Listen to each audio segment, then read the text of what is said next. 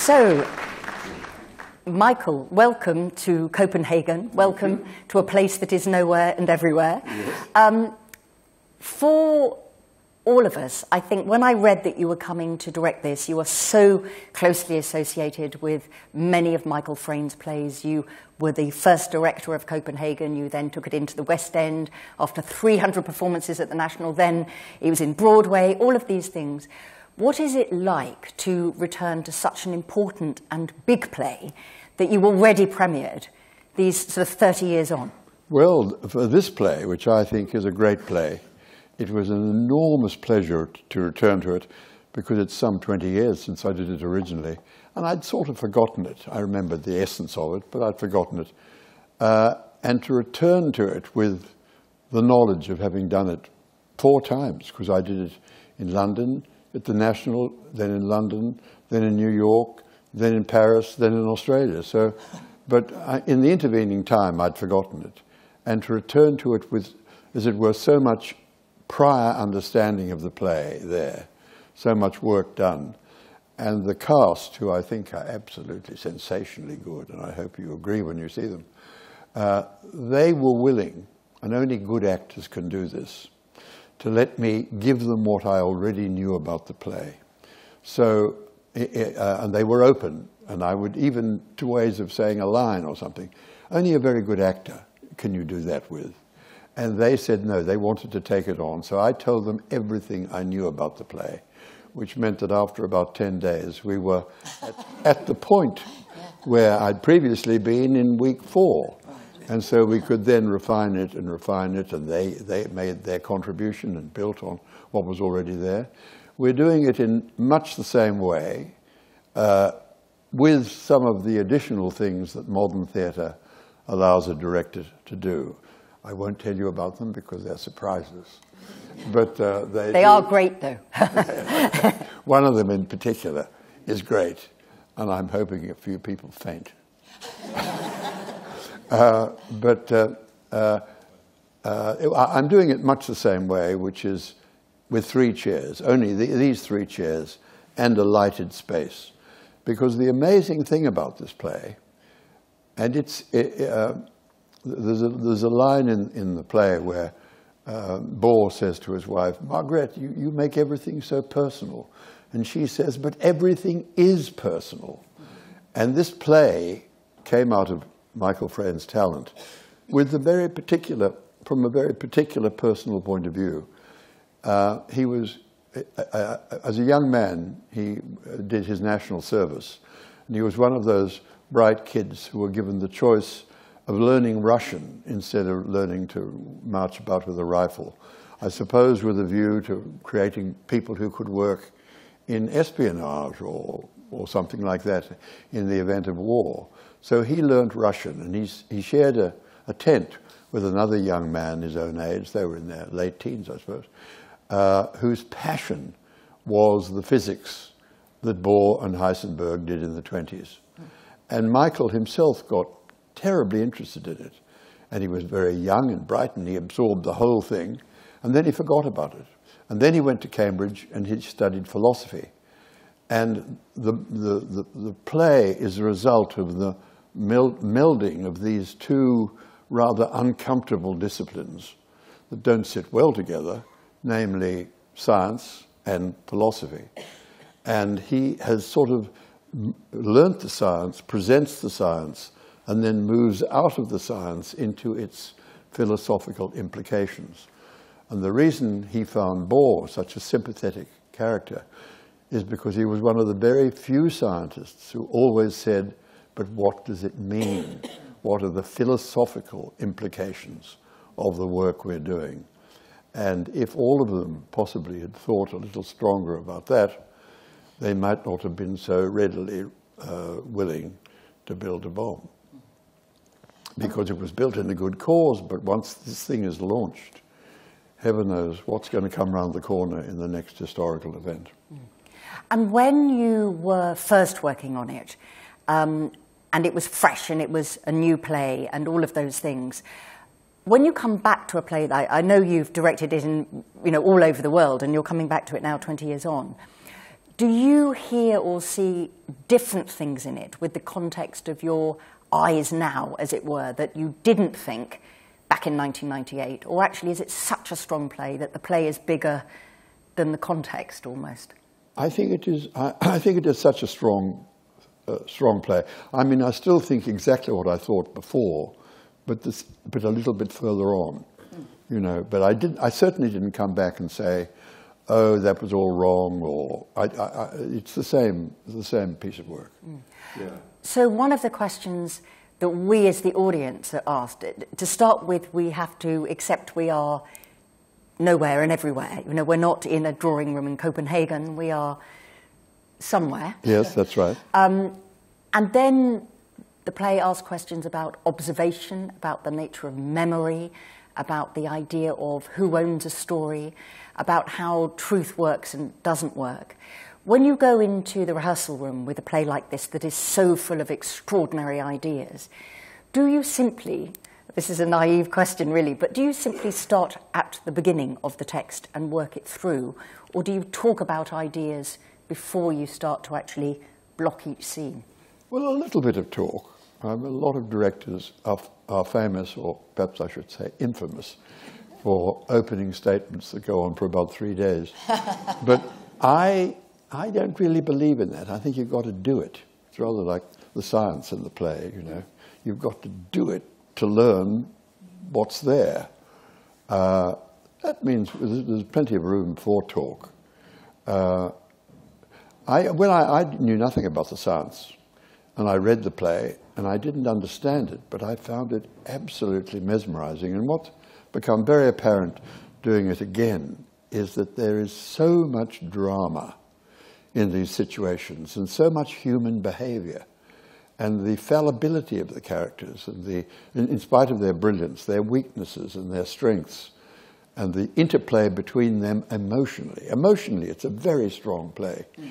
When I first read it, I didn't understand a word, but I found it absolutely gripping. And then I would read it again, and I found I would start reading it, and it's got a drive to it, which is mesmeric. And when Michael and I first talked about the play, we kind of thought, well, I, I, admired it, but I thought, I don't know that the general public are going to really like it. And we thought uh, it would probably appeal to a, min- a, minority audience of people who are, like Michael, interested in the subject.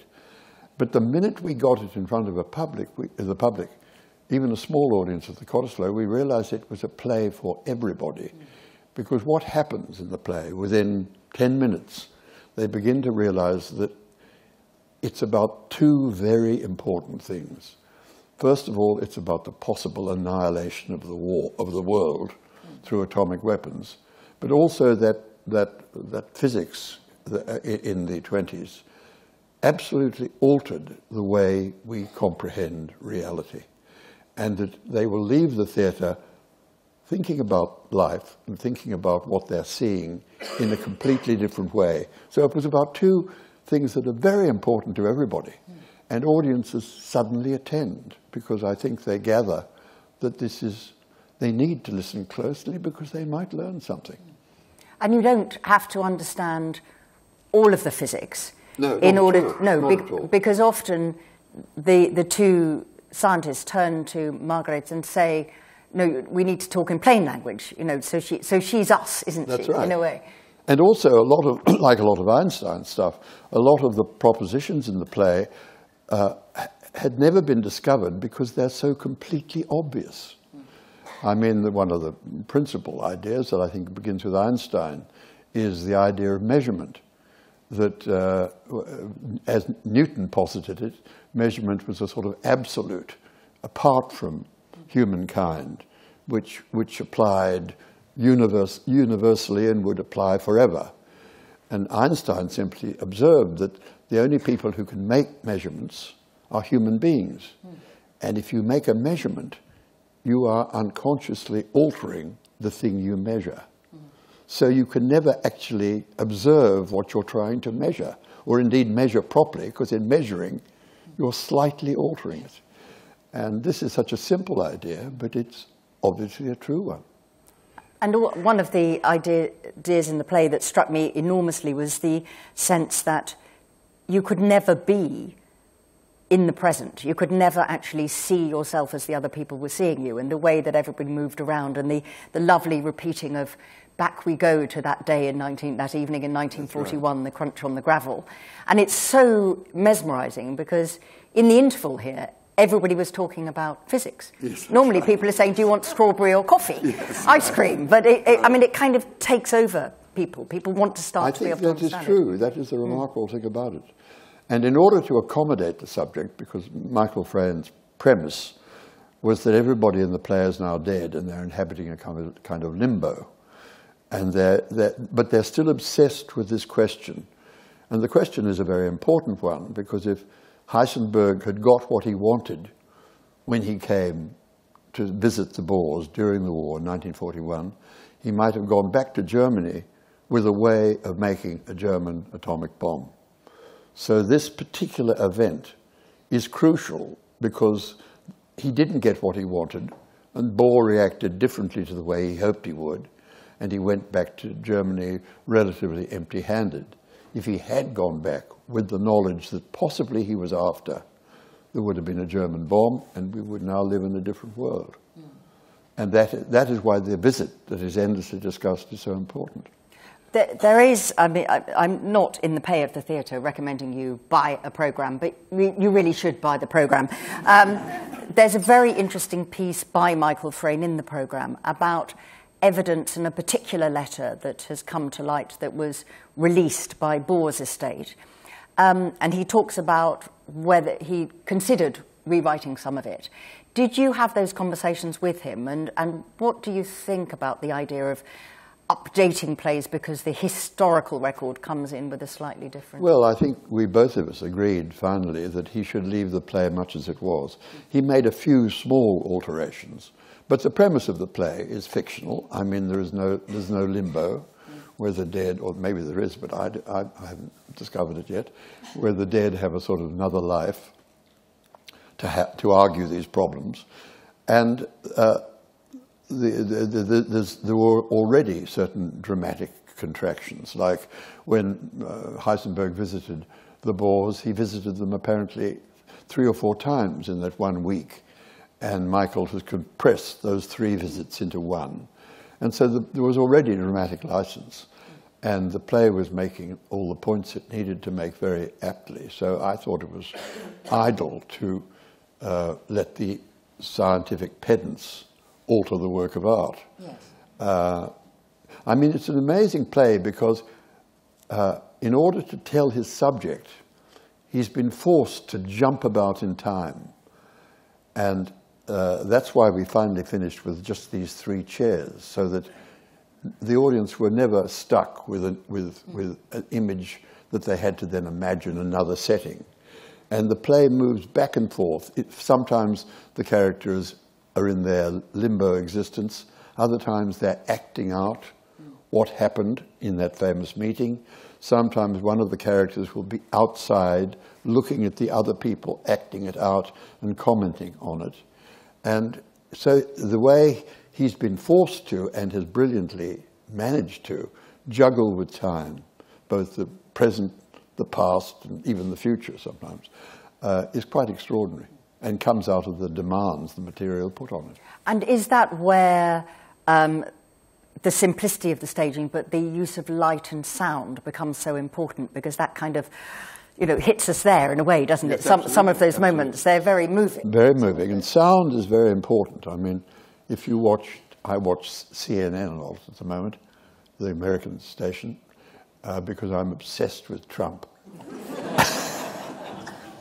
And I think the end game is approaching, so I, I want to get, the, I want to, it's, as melodrama, it's thrilling, whatever its consequences for, but actually Trump makes this play eight times more relevant than when we did it. I mean, when we did it, the Cold War was over, and it looked as if there were going to be no threat, possibilities of nuclear bombs going off. Suddenly, alas, that, that possibility has come back, so the play has suddenly leapt into the... Yes, and the consequences of scientific discovery yes. being taken away from morality or ethics. Yes, exactly. Yeah. It's, it's very much more relevant. But if I, if I, if I, when I watch CNN, there are these ghastly ads that, that happen every so often in between people speaking, and they drive me mad because they're endlessly repeated. But I find if I turn the sound off and look at the picture, it's much less distracting than leaving the sound on and getting rid of the picture. sound is much more irritating and it's much more emotionally triggered. And, and we use a lot of sound in the production, uh, and it has the effect of taking you back in a way that possibly a picture doesn't, an image doesn't. And, and it's more emotionally charged. Yes, and it feels, you know, in a, in a way, when you're in the audience watching a, a piece of work that is so fine with such extraordinary performances from all three actors, you almost want to intervene and break the silence sometimes or break the sound. Yes, right. Uh, which is obviously what theatre should do, I yes, suppose. You know, stir us up. Um, as I said at, uh, at, the beginning, you have had a long and wonderful uh, partnership with Michael Frayn. You've been the first director of many of his works, you know, not only this, but of course, you know, Benefactors and Democracy and, and Noises Off. Um, what is the difference for you as a director? You know, you've worked all over the world, you've worked with all sorts of people, eh, all the companies. Um, between doing a brand new piece of work where the paint's not quite dry and doing a piece of work where the audience already knows it and is already engaged with it. Do you have a different process as a director? No, I think it's exactly the same. You approach the material. It's more fun doing new work because there's that lovely feeling of unveiling something that mm. wasn't there before. Mm. And if you do something uh, again. But I'm, I, am doing this again. I mean, I'm getting as much, I got as, quite as much pleasure this time as I did mm. last, maybe more. And is that because you said you, you knew more about it? You're starting several weeks further on than you felt last time. Yeah, I think I think uh, I think Tyrone Guthrie described a director as an ideal audience of one, and that that's what that's what you are. I mean, I'm not there to tell them. I, I tell them what I know, and I like to have, I like happy rehearsals mm. with a lot of jokes. Yeah. And uh, I think if you can keep, keep people, part of the director's job is to keep his cast amused. And, uh, uh, and, and, to, and to be there to receive what they give him, but also to guide them. And in, in a case like this, I obviously started with much greater knowledge of the material than they did. So I, I didn't hesitate. I said, do you want me to tell you what I know? And they said, sure. So I, I gave them all line readings and stuff like that. And they didn't mind. But now it's entirely theirs. Mm. And I'm happy. That's my job. I withdraw myself. You, you've worked with many of the great, great writers and actors all over the world. You're obviously one of the associate directors right at the beginning of the National Theatre at the RSC. You've worked in the West End, in Paris, in Australia. You are were Australian. Oh, were. I am you Australian. Are. Yes, I it's your accent what gives it away. Yeah. I am Australian. So, do you still have, though, with everything you've achieved and all the people you've worked with, when you get into that rehearsal room with your new people to play with for the first time, do you still have that sort of flutter oh, of oh, excitement? Oh, oh, well, it's not, a, it's not a flutter of excitement, it's a flutter of anxiety. Oh. Because you never know. You never know you cast it. You're ultimately dependent on the actors understanding the play, you, and having the talent to do it. And you never know, because very good actors can be miscast. And you never know whether you're going to be right for the material. There's, a, there's a period, like a lot of sort of dogs assembled in a room. The dogs run around and they pee here and they pee there and they, they, get, they sort of have to accommodate the space. And that takes about three days, and then suddenly everybody's getting on quite well, and, and then hopefully there's a sort of a communic, whatever the word is, uh, of intention, and, and, you start enjoying yourself. I mean, I do it for the fun. Yeah. but I think that's wonderful. Are there, are there particular actors that you haven't worked with that you would have liked to or do want to work with? Or is it always the work, the text, that draws it's you? always the text originally, yeah. originally. And uh, often, I, I, you know, some of the actors with whom I, I consider that I've failed have often been very, very good actors who, because uh, very, very talented actors often have a very strong idea of what they want. And sometimes it's very hard to, to, not to tell them what to do, but simply to contribute to what they're trying to do. Mm. And so occasionally you, you, you have experiences that aren't, they're not bad, but they're just not satisfactory. No, and, and, and do you, and you're stuck with that presumably? Yeah. Once it starts, you know yeah, you that know. there's one dog that should have been left outside in the garden. Or maybe, maybe I should have been left outside in the garden. um, we've only got half an hour this evening, so I'm going to take some questions from the audience earlier than usual. Um, Jeanette has the microphone. Gentleman there to start off, thank you. So thank you. Um, I have a question about audience reaction. So I think uh, somebody mentioned that as people went out during the interval, they were talking physics, which I thought was amazing. Um, how do scientists react to the play? Uh, they react rather well. In fact, uh, when we did it in New York, a lot of the physicists that are mentioned in the play, and I, am afraid I can't remember which ones, were all my age then. And uh, uh they, they gave it, they, they, were, there was some sort of symposium where they, they were gi giving an, uh, an address. And Michael Frayn and I went to it, and then we were asked to have a meal afterwards with these guys. And uh, it, they were lovely because they, they relished fun. And some of them were very funny and they, they talked and they were just like, uh, I don't know, like a company of actors saying, remember the old days, remember yeah. when we did this, remember when we did that. And it was so strange meeting them and indeed knowing their responsibility. And uh, I think, I think uh, uh, an appetite for amusement is very strong in us and is very, we, we, we want to find it in our work if we can. And I, I think uh, politically, if you can engage people in really interest them in their work, money is important, but it's secondary. And that's why I so deplore the, the, the, economics that have come out of the Chicago school, because I think it's making an absolutely monstrous world in which only money is important. Uh, and I don't think, I don't work for money. And I know a lot of people, you know, I, I, I want some money.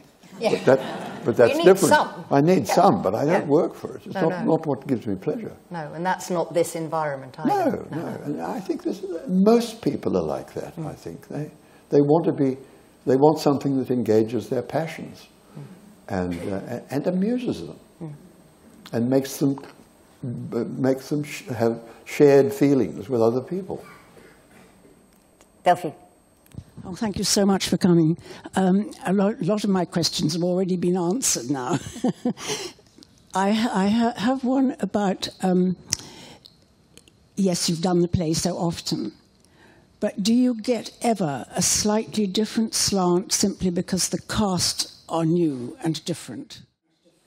Oh yes, absolutely, absolutely. The, the, the, absolutely, the personality of this cast is very, very different from the first cast I had, and uh, it colours the whole, the whole show. I mean, I think we have. It seems to me a slightly more emotional performance with this cast than we had before.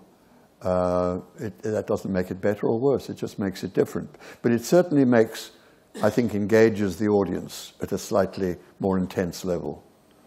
Uh, the they are very warm on but, stage. They feel, yes. you feel that the, the consequences of them not finding a rapport again are, are real to them as well as for the world. Yes, that's right. And, and the, the rows they have are very spirited, and the moments of shame and em embarrassment and so forth. Uh, lady in the front, thank you very much.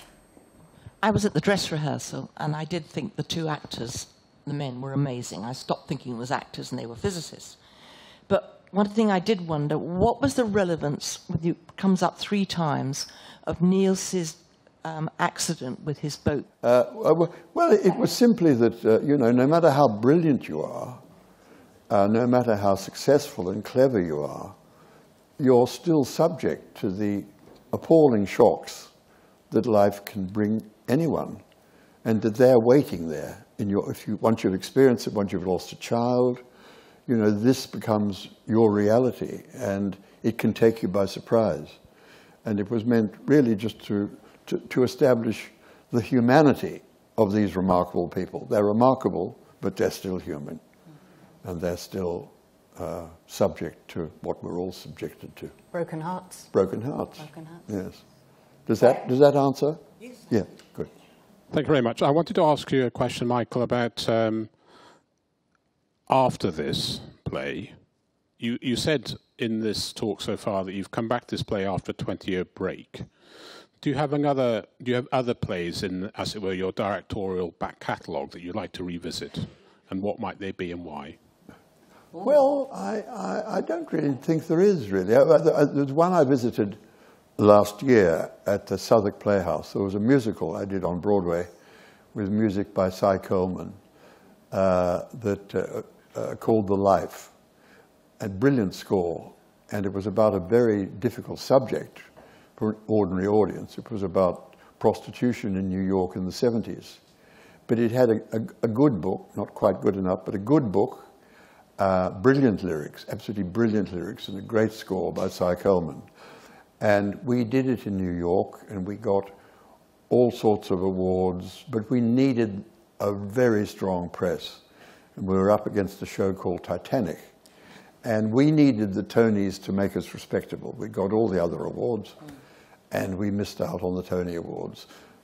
Uh, we, went, we, we ran for about a year, but I've always wanted to give that, that show another life. And uh, I've been trying to get it off the ground in England and I managed to get it on at the Southwark Playhouse mm. uh, with very little money, an amazing cast of actors who these days will work for peanuts if they like the, the, the show. And we got it on, it was successful, and I hoped it was going to move.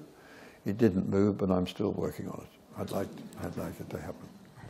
Is there a last question? I just wanted to know who was in the original cast. The original cast uh, David Burke, uh, uh, Sarah Kestelman, and Matthew Marsh. Yeah. Gentlemen, very good. You. They were very good. Very good. Very different, but very good. Yes. Did, did you find at any time with your association with this play that politics came up? Not really, no. Thank you. No, I don't. this is fantastic. But do, what do you mean in terms of politics? I mean, in terms of the outside world intruding on how the characters might be interpreted or their behavior? Well, well, it was the whole business of the atomic bomb was so uh, um, intercontinental between uh, particular political regimes that uh, I, I, am surprised that. that well, I, I, have to correct that, my, one of my remarks because when we went to America, uh, Heisenberg uh, as the play shows, although he, he did make a, a, terrible mistake in going back to Germany and becoming part of the Nazi establishment. But he didn't, that's all he did. He simply offered Germany out of patriotism, not out of any fascist inclinations. He simply offered Germany his loyalty in the event of war. And of course, in New York, uh, there was a lot. There was a great deal of criticism, and in America, there was a great deal of criticism of this originally, particularly from uh, the Jewish uh, Americans, and uh, some people did feel that the play. I don't think it's true, but I think they thought the play was a little easy on Heisenberg and should have been much stronger in condemning him. But uh, th that was the only political.